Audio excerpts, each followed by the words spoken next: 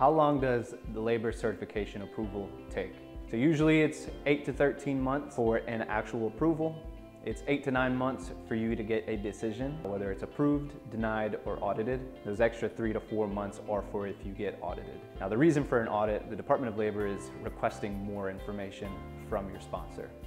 Okay, so it doesn't mean that there's anything that you've done wrong, it's just giving them a little bit more time them to review this certificate and give you that approval. After that, depending on what process you're going through, the adjustment of status or consular processing, that's when you start preparing your I-forms and talking with your attorney. If you have any other further questions, reach out to one of us here at BDV and we'll be able to answer anything further.